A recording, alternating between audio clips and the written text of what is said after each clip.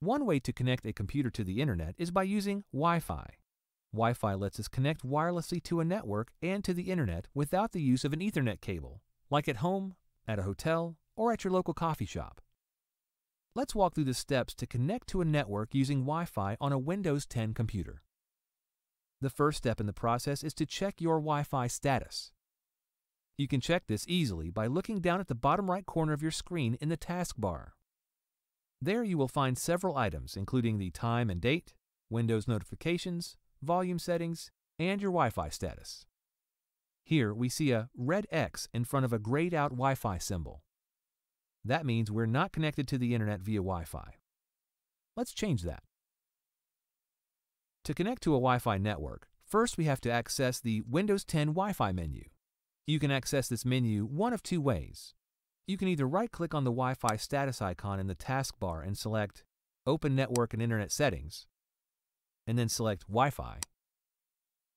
Or you could simply go down to the Cortana search bar in the bottom left of your screen and type in Wi-Fi.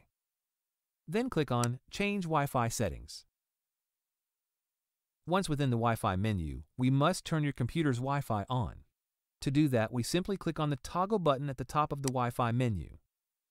Once Wi-Fi has been turned on, your computer will search for available Wi-Fi networks nearby. To see them and select one, click on the Show Available Networks link. That will open up a list of available nearby networks. This list will feature all nearby Wi-Fi networks and their signal strength. Usually, the higher the signal strength, the better and faster connection to the internet. This is signified by white bars in the Wi-Fi icon for each network. The more white in color the logo is, the stronger the signal. To connect to a network, right-click on Connect. Your computer will attempt to connect to the selected network. If it is a secured network, you will be asked to provide a network security key, sometimes simply referred to as a Wi-Fi passcode.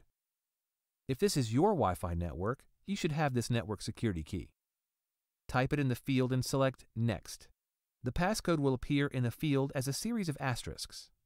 If you need to see the passcode as you type it, long clicking or clicking and holding on the eye icon to the right will show you the passcode, but only while you're holding down the mouse button.